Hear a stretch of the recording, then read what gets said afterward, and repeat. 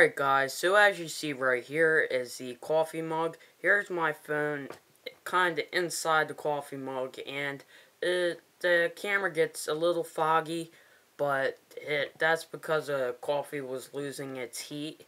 Um, yeah, so I just did it about three times I believe on this. Um, so yeah, so that was uh, that. Alright, so um, I used the uh, Keurig to um, make my coffee. That I I'm pretty sure that's what everybody uses now.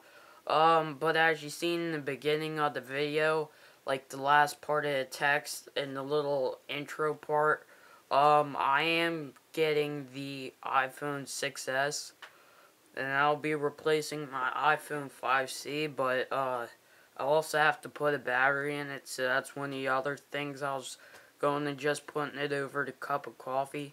So I hope you just enjoyed the little uh, little clip of the test with the camera quality and the fog test.